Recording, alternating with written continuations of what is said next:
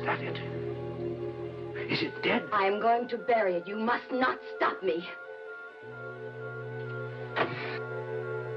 It has a bullet in the base of its skull.